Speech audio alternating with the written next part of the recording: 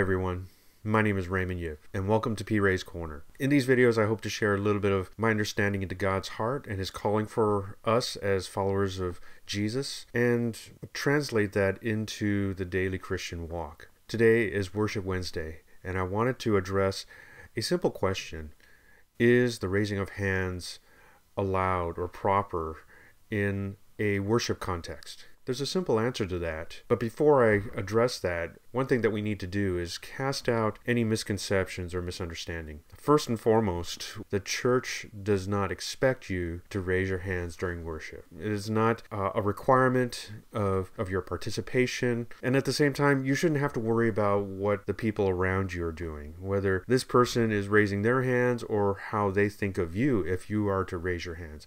Let's put all those aside. Now, Let's look at some of these verses here and see what Scripture says about the raising of hands. Some quick examples Psalm 141, verse 2. Let my prayer be counted as incense before you, the lifting up of my hands as the evening sacrifice. And then also in Psalm 28, verse 2. Hear the voice of my pleas for mercy when I cry to you for help, when I lift up my hands toward your most holy sanctuary.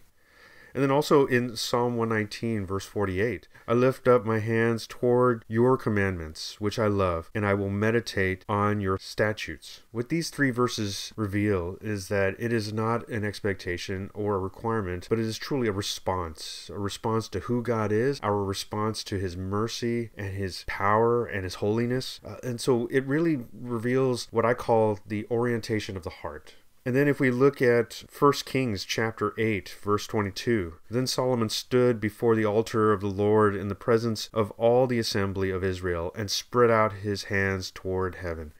Again, it is revealing his desire to want to raise up his hands before the Lord, not as as a requirement or anything that God expects of him. And then if we look at 1 Timothy chapter 2 verse 8, this is the apostle Paul writing to his disciple Timothy. I desire then that in every place the men should pray lifting holy hands without anger or quarreling. It's speaking to the heart's desire to want to connect with the Lord, and our response just uh, moves our hands to, to this elevated position of exalting the Lord. Ultimately, a response to who God is. And it's as simple as that.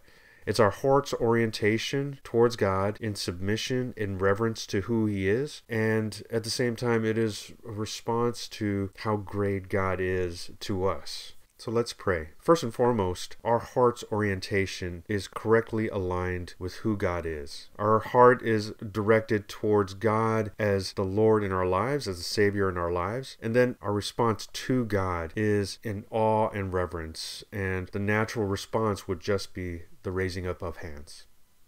Thank you.